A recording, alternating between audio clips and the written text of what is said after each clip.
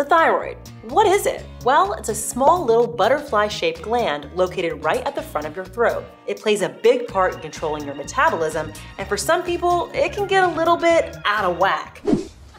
That's whack. Okay, getting out of whack isn't exactly a medical term, but hypothyroidism is, and it's just one of several conditions that can affect your thyroid gland. I asked my friends at the Cleveland Clinic to tell me a little more about hypothyroidism, and just look at all this information they gave me. Today, I'm going to talk through it all with someone who actually has the condition, Katie from Love Sweat Fitness, and she's going to tell me everything about how she stays strong and fit when living with hypothyroidism. You'll want to stay and listen, it's good stuff. Yeah, man, that's the good stuff. I'm Tori, and this is the TMI Show.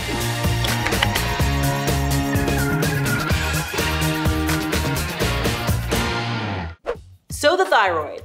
This tiny little thing is responsible for keeping pretty much every metabolic process in your body functioning normally, like your heart, your bones, your body temperature, your weight, just to name a few. The thyroid creates the hormones T4 and T3. When it's on the up and up, it's constantly making and releasing hormones, then making new hormones to replace what's been used. The amount of thyroid hormones in the bloodstream is actually controlled by another gland entirely, the pituitary gland.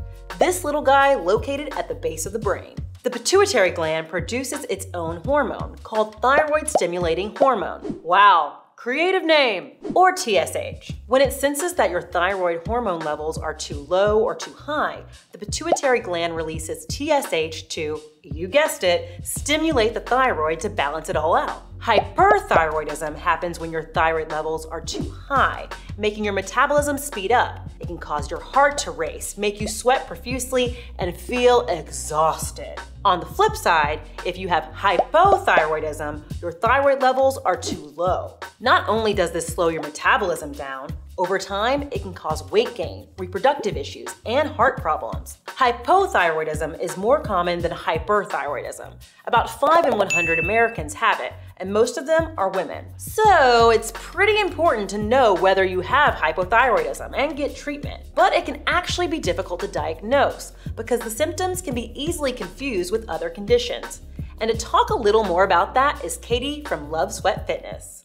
Well, hi, Katie. Thanks for stopping by the TMI show.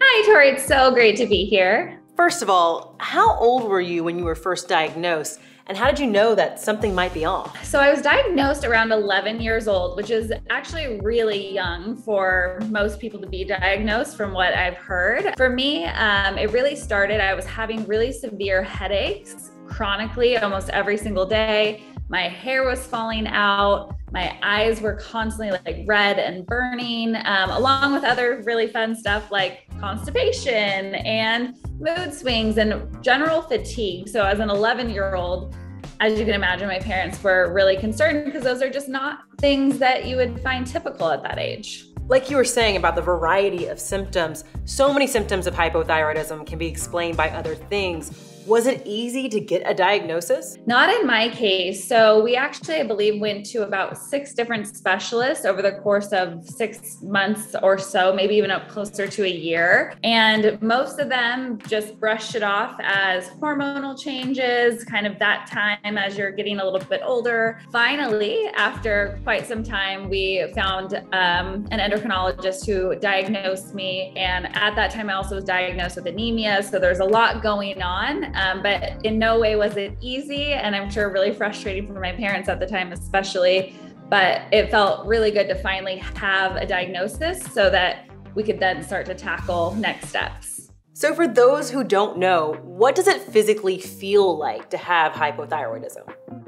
You know, it's hard. I think for most people, there are definitely general symptoms that a lot of people deal with. I think the hard thing is a lot of hypothyroidism is very much like an invisible illness. And so for everyone, it's different. For me, um, mentally, it was really frustrating and exhausting. Physically, it just felt like everything feels off. Even now, um, there's times where I'm so in tune with my body at this point, I know, but there's things where like you would sleep nine or 10 hours, which you would imagine you'd wake up feeling ready to take on your day, but you would still feel exhausted. And so that for me was the hardest thing was constantly feeling like there was something wrong, but I couldn't really figure out how to make it better, how to feel more energized, or how to stop my hair from falling out and really address any of those symptoms.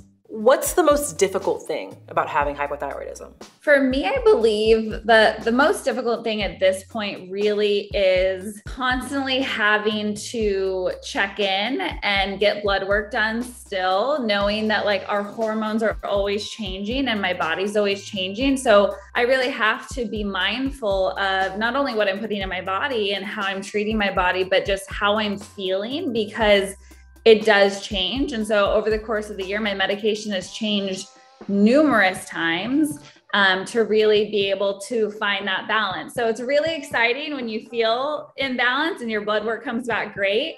Um, but then knowing that, like in six months, all of a sudden you might be feeling that severe fatigue again and having to readdress it and go back and adjust that medication and then wait for it to kick in the right way. Like that to me, I think is probably the hardest part. Now, I know fitness is such a big part of your life.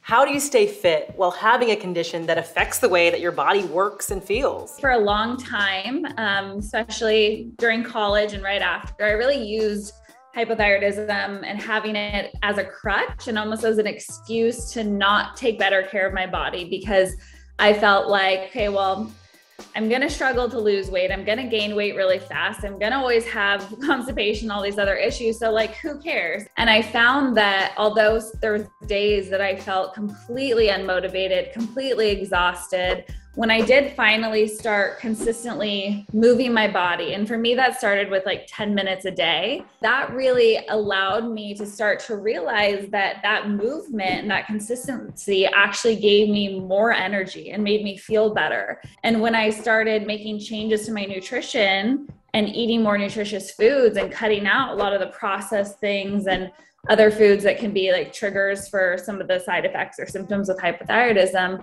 I started feeling better and I became a little bit addicted, I guess, to that feeling good because I've spent the majority of my life not feeling good. And it's kind of just expanded from there to the point where I lost 45 pounds, became a certified personal trainer, group fitness instructor, sports nutrition specialist, just because I fell in love with that feeling and realizing that even with hypothyroidism, I could function and live a pretty normal, healthy life. You just spoke about your diet, your exercising, and in combination with a medication. How do you manage your hypothyroidism? Yeah, so I mean, it really is those things. So I still get my blood work checked about every six months to kind of see how I'm doing and where my levels are at. Um, the other part is consistent exercise, but listening to my body because sometimes those really intense workouts feel amazing. And sometimes they don't. And so just knowing that it's okay to adjust and modify and like really focus on what things do make me feel good. And then nutrition, that's something that growing up with all the doctors I went to all those years, no one ever talked about it. And so as I grew up and as I started doing my own research and now like as a career as a health and fitness professional, I've learned so much about it. So being able to manage my hypothyroidism like really comes down so much for me for nutrition and what I'm putting in my body and how those different foods impact my metabolism, my energy levels, and generally like how I feel. Is there anything else you'd like to mention to someone who might suspect that they have hypothyroidism? I think the most important thing is obviously finding a doctor, going to a specialist if you're able to, going to an endocrinologist versus just uh, your regular doctor, like someone who specializes, it can really better diagnose that. If you feel off in any way, go get checked because maybe it's hypothyroidism or maybe it's something else. But if you're not feeling like you're able to function at your optimal level and you're doing all the other things that should allow you to, staying healthy, eating well, moving your body, uh, I think a lot of people tend to ignore it. So making sure that you take that step is really important. Is there anything else you'd like people to know?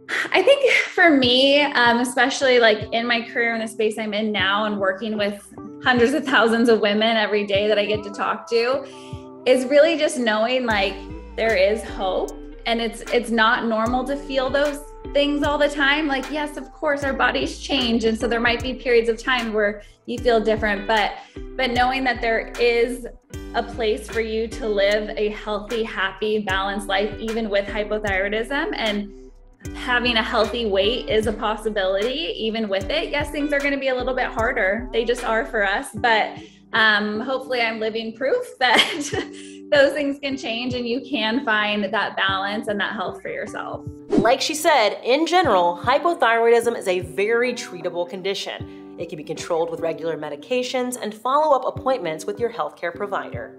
If you guys at home have any questions about the thyroid or health and medicine in general, drop them in the comments. Like and subscribe so you can catch every episode of The TMI Show. Thanks for watching. See you next time.